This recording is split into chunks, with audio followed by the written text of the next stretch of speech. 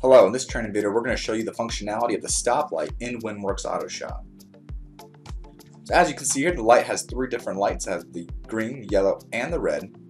Green means you're all good to go, your profit margins look good, you're making money, and the customer's happy because the customer is getting a good deal as well. If the light's yellow, that means you may be doing a little too good. Might be charging a little bit too much for your work, which is perfect for you, but it may scare off some of your customers and they might shop around and go to another auto shop to get their work done. So if the light's yellow, considering lowering the price on the job so you can get the light back into the green.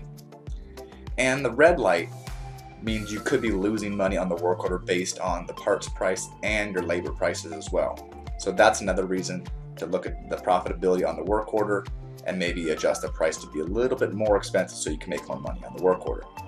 So to get more information about each and individual light, you can double click on the profit indicator light right here. So you can see your labor margins at 48%, parts margins at 47%, sublet margins at 33%, and the combined is 45. So if you want to get a more in-depth detail of each task, you can select the drop down right here, and you can select each and individual task. So you can see which task is making you the most and which task is making you the least.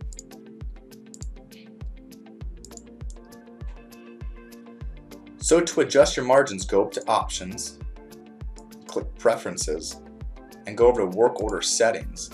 And right here, your low profit margin and your high profit margin.